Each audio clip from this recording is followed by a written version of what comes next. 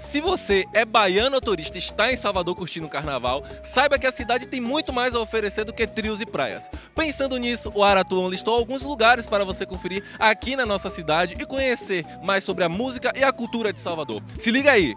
Se você está no centro histórico turistando ou curtindo as atrações do Carnaval do Pelô, saiba que é de lei bater ponto na Casa do Carnaval, fica perto da Catedral Basílica, do ladinho do plano inclinado Gonçalves. No local, você vai encontrar um pouco sobre a história da maior festa de rua do planeta. Além de uma biblioteca, o pavilhão de entrada mostra alguns itens marcantes da festa, como as guitarras de Bel Marques ou uma mortalha do bloco Chavantes. Na sala seguinte, você encontra maquetes e esculturas com personagens da festa, como músicos, ambulantes e cordeiros. Na sala Criatividade e Ritmos, instrumentos musicais e figurinos usados por artistas no carnaval são expostos em vitrines belíssimas.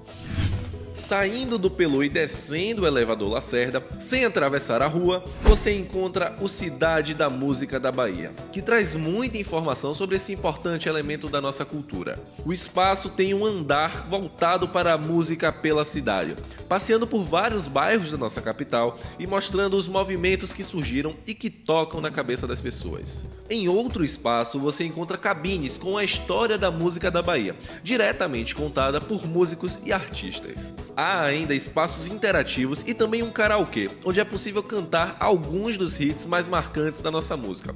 E o resultado, pelo menos, é muito divertido. Confira a minha tentativa ao lado da repórter Joana Castro.